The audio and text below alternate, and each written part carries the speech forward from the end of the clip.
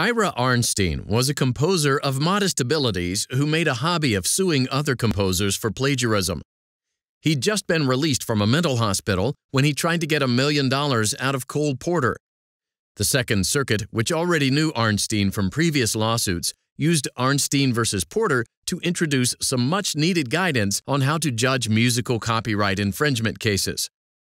Arnstein claimed that Porter's songs Begin the Beguine, Night and Day, and My Heart Belongs to Daddy infringed the copyrights to several of his musical compositions. Copies of some of Arnstein's compositions had been sold in large numbers, and others had been played publicly.